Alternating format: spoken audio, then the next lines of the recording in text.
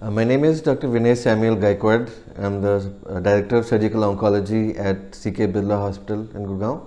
Uh, we're going to talk about pancreatic uh, neuroendocrine tumors and the difference between pancreatic neuroendocrine tumors and pancreatic cancer. We get a lot of queries uh, regarding the differences between a neuroendocrine tumor and adenocarcinoma, which is otherwise known as cancer.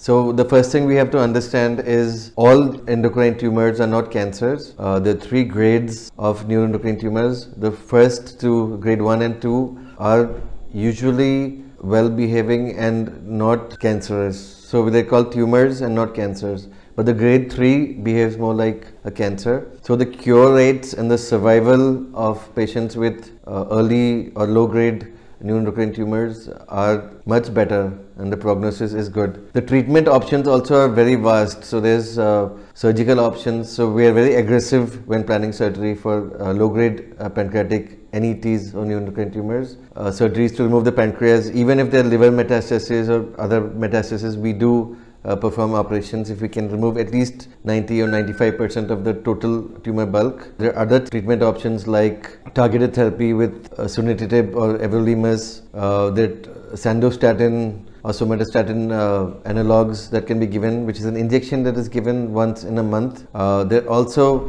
what's called PRRT or peptide therapy, uh, which is very effective now, which is done by uh, nuclear medicine physicians. There are also liver directed therapies that we can use like radio frequency ablation, microwave ablation and so on. So there are multiple options pancreatic neuroendocrine tumors uh, including liver transplants if uh, there's liver metastasis and the other criteria met. Pancreatic uh, grade 3 pancreatic neuroendocrine tumors or cancers can be more difficult to treat uh, with chemotherapy and the prognosis is not so good.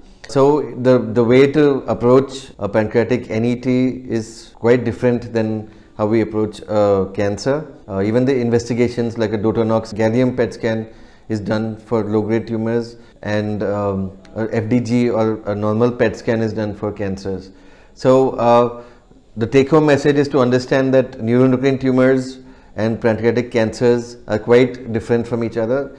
The, the tests that are done and the treatment that is done is very different and even the overall survival and the outcomes are very different for uh, NETs and cancers. So I hope that information has been helpful.